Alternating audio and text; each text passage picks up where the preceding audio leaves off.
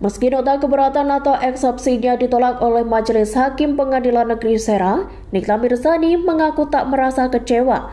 Namun ia berjanji bakal membocorkan nama-nama oknum yang membantu Dito Mahendra dalam kasus pencemaran nama baik yang menjeratnya itu. Setelah eksepsinya ditolak, Nikta Mirzani bakal menjalani sidang lanjutan pada Senin 12 Desember 2022 guna memberikan pembuktian. Nikita pun berencana membuktikan jika kasus tersebut didalangi oleh beberapa oknum. Lebih lanjut, janda tiga anak itu mengaku tidak keberatan dengan keputusan majelis hakim yang menolak eksepsinya. Hal itu lantaran Nikta Mirzani ingin melihat langsung sosok Dito Mahendra di persidangan yang akan datang. Diberitakan sebelumnya, Nikta Mirzani kembali menjalani sidang atas kasus pencemaran nama baik yang dilaporkan oleh Dito Mahendra.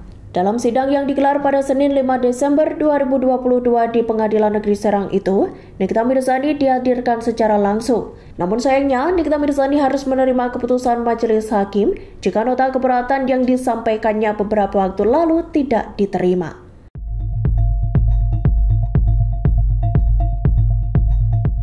Terima kasih sudah nonton. Jangan lupa like, subscribe, dan share ya.